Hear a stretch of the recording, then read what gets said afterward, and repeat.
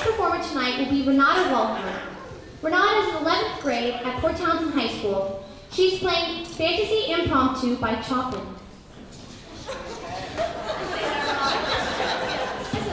Okay, this is her ninth Sergeant Tomorrow. Her piano teacher, teacher is Chia Bounds. Last week, playing this piece, she was named second alternate in state in the regional solo and ensemble competition. She is on the high school swim team and finished seventh in the state in the freestyle relay. She is fluent in, in Chinese and is working on Spanish through Peninsula College. Please welcome Renata Waller.